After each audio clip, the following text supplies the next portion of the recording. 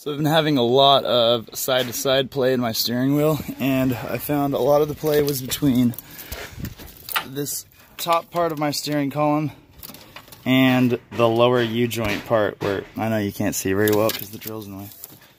Between this U-joint part where my drill's touching and this top part where, the, where it attaches the U-joint to the steering column. But anyway, um, there's some play in between that slip joint and it's Probably just because I'm rough on it, I'm thinking. Because it's just not a very heavy duty type of a uh, connection. I don't know. I don't know what the deal is. But I'm going to drill a hole there and put a bolt through it. So this is part one. This attempted fix. Don't poke a, a hole in your boost hoses.